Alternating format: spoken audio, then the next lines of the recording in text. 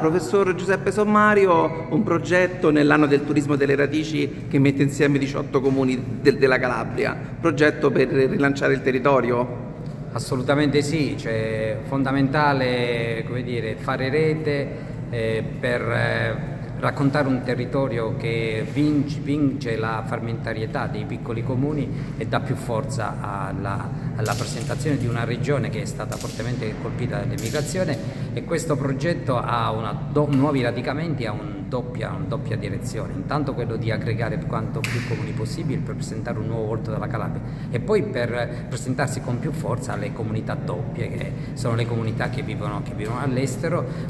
che vivono fortissimo questo sentimento di ritornanza, come ho detto, che non è un semplice ritornare a casa, è un vivere nel mondo, ovunque sia, orientati continuamente con questo sentimento di eh, voglia di ri, ri, ritornare a casa, di, di, di fare un nuovo modo di, di, ricreare un nuovo modo di essere comunità, al di qua al di là dell'oceano.